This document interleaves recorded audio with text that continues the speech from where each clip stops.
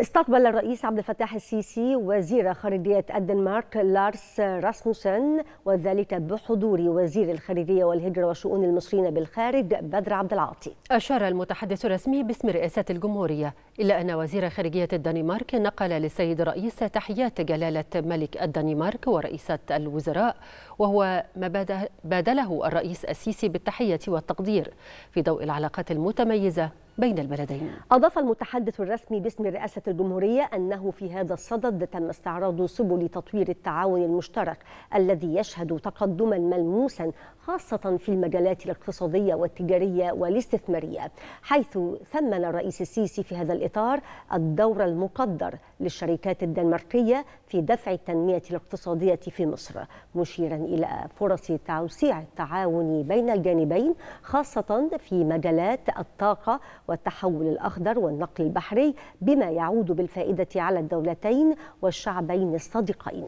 تناول اللقاء كذلك الأوضاع في الشرق الأوسط حيث حرص وزير الخارجية الدنماركية على الاستماع إلى رؤية تقييم الرئيس السيسي للأوضاع الراهنة بالمنطقة حيث أشار الرئيس السيسي في هذا الشأن إلى ضرورة القصوى لتغليب مسار التهدئة والتوصل لاتفاق يتم بموجبه وقف لإطلاق النار بقطاع غزة.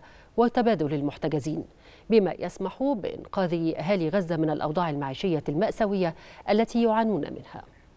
هذا وشدد الرئيس السيسي على ضرورة أن يتزامن ذلك مع مسار جاد وحاسم لتنفيذ حل الدولتين وإقامة الدولة الفلسطينية المستقلة على النحو الذي يحقق تطلعات شعوب المنطقة نحو العدل والأمن والاستقرار والتنمية وهو ما اتفق معه الجانب الدنماركي.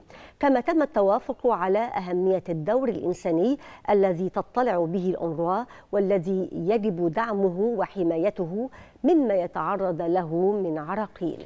كما تطرق اللقاء كذلك إلى عدد من الأزمات القائمة بالمنطقة خاصة الأوضاع في السودان حيث أكد الرئيس السيسي ضرورة دعم السودان الشقيق مستعرضا في هذا السياق جهود مصر لاستعادة الاستقرار به ومشددا على أهمية احترام سيادة السودان ومؤسساته الوطنية ووحدة وسلامة أراضيه وعدم التدخل في شؤونه الداخلية. بالإضافة إلى تكثيف الدعم الإغاثي في ضوء تفاقم صعوبة الأوضاع الإنسانية التي يعاني منها أبناء الشعب السوداني الشقيق.